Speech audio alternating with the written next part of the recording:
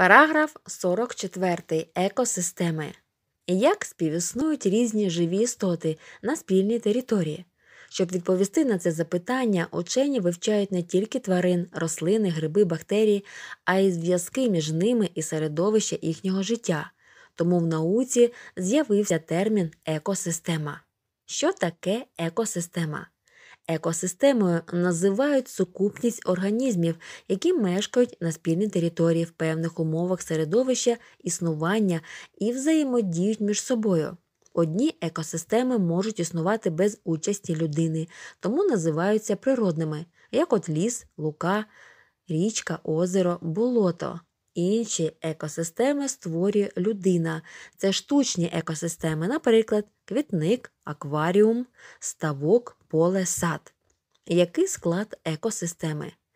Як показано на малюнку 164-му, екосистема складається з організмів, які взаємодіють між собою, і чинників неживої природи, які на них впливають світло, температура, вода та інші. Хоч якими б різними були організми однієї екосистеми, кожний з них виконує в ній певну роль. Рослини утворюють органічні речовини, використовуючи енергію світлових променів. Цими речовинами вони забезпечують не лише себе, а й інші організми, тому в екосистемі рослини називають утворювачами. Тварини споживають органічні речовини, створені рослиною, коли поїдають рослини або інших тварин. В екосистемі тварини виконують роль споживачів. Рослини і тварини, які входять до складу екосистеми і з часом помирають, рештки відмерлих організмів руйнуються і перетворюються на неорганічні речовини завдяки діяльності таких мешканців ґрунту, як деякі комахи, дощові черв'яки, гриби, бактерії та інші. В екосистемі вони утворюють групу організмів під назвою руйнівники. Розглянуті приклади показують взаємозв'язок між різними групами організмів в екосистемі на основі живлення. Одні організми є продуктами живлення для інших, без цього екосистем не існувала б. Роль природних екосистем у природі та житті людини. Ліси називають зеленими легенями планети, завдяки їм у повітря надходить велика кількість кисню. Корені дерев запобігають руйнуванню ґрунту, а їхні крони затримують шкідливі гази та пил. Цим ліси сприяють очищенню повітря, а ще ліс домівка багатьох організмів. Пригадай і назви тварин лісу. Ліс забезпечує людину деревиною, з якої виготовляють різні будівельні матеріали, меблі, папір, тканини тощо. Гриби, горіхи, ягоди, лікарські рослини теж дари лісу.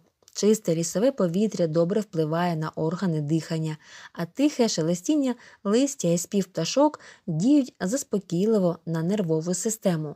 Тобто ліс має неабиякий оздоровчий вплив на людину. Степи, луки, полонини людина використовує для випасання худоби, заготівлі сіна і лікарських рослин. Прісні водойми, річки та озера є оселею для багатьох мешканців, а також є джерелом питної води та води для зрошення полів і садів. Їхні мешканці риби, раки, молюски, цінні продукти харчування.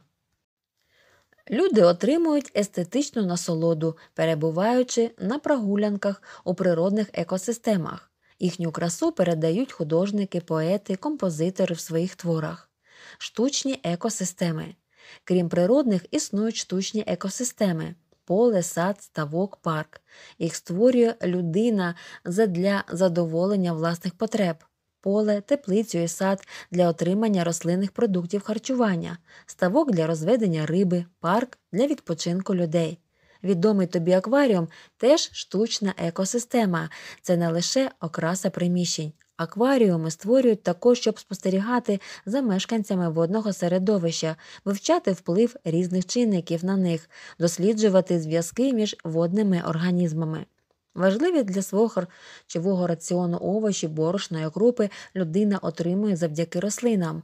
Для цього на полях вона вирощує пшеницю, жито, буряк, соняшник, картоплю, моркву та багато інших рослин. Рослини, які люди спеціально вирощують для отримання певних продуктів, називають культурними рослинами, а відведені для їхнього вирощування місця полем, теплицею і садом. Основними організмами в екосистемі поля є культурні рослини.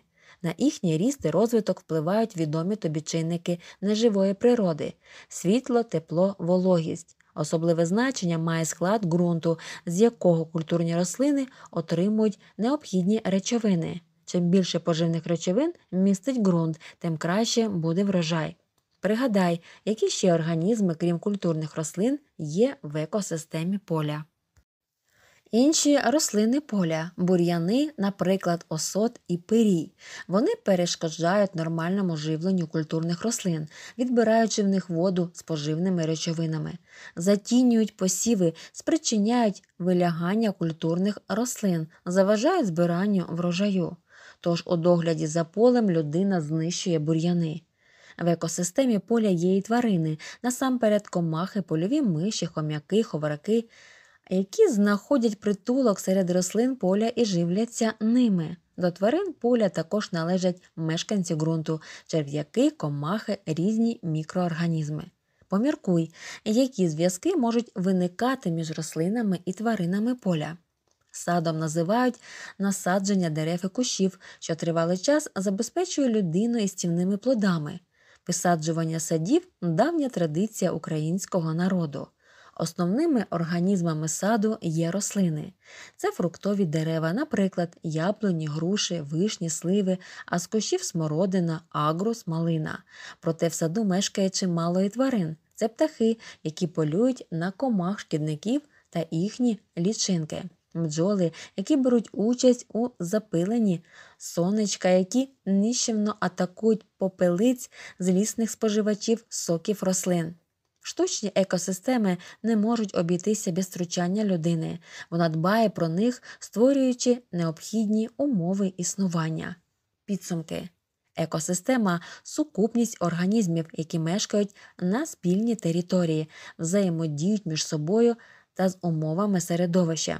Між організмами екосистеми існують зв'язки, зумовлені отриманням поживних речовин і енергії.